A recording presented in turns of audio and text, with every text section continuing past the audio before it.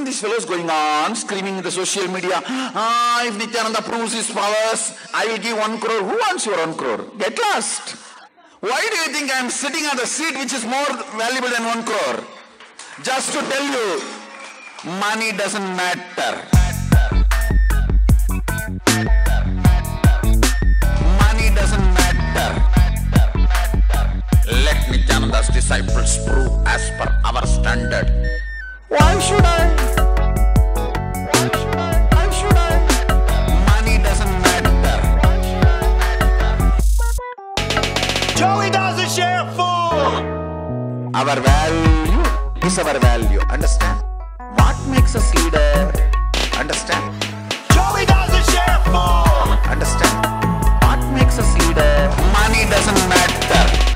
I am not interested in brainwashing you. I am only interested in washing your brain.